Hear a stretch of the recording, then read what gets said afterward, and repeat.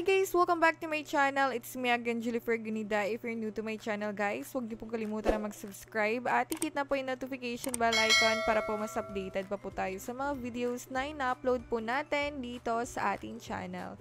And for today's video po guys, no, ayan, naghahanap naman po tayo dito guys ng mga tips kung paano nga po natin ma-secure yung ating OKX wallet. So, for today's video po guys, ayan, advanced security tips to avoid losing funds on OKX wallet. So, ayan po dito guys, no? Kailangan muna po natin i-protect yung ating funds po dito sa ating OKX wallet or any other cryptocurrency na meron po kayo.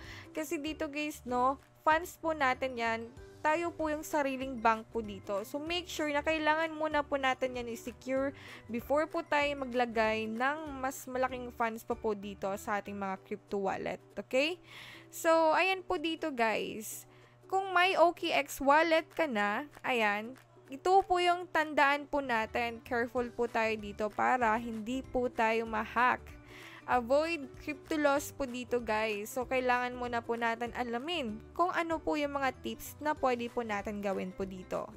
So, una, keep your seed phrase offline. So, dito guys, huwag i-save yung mga screenshot, email, or notes app. Best po natin gawin po dito guys is sa notebook or hardware backup lang po tayo. Never store seed phrase online guys what if ma-hack po yung phone mo or yung any gadgets na meron pong seed phrase nyo po, pwede po ma-access yung OKX account nyo po guys. At makikita po dito yung balance ng account mo po dito.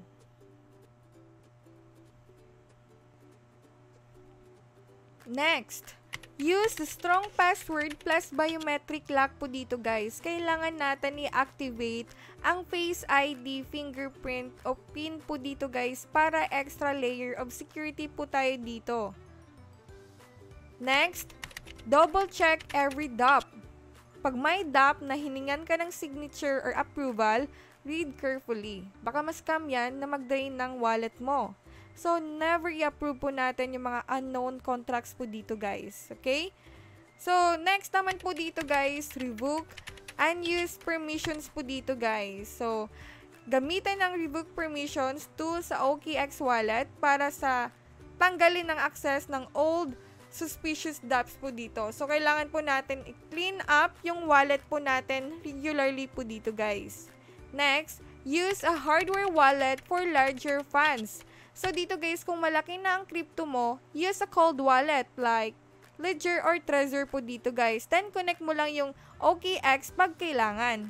Basta dito guys, no, yung ating Web3, ikaw ang bangko. So, ikaw din ang security. Protect your crypto and stay safe using these tips on your OKX wallet po dito guys. Okay?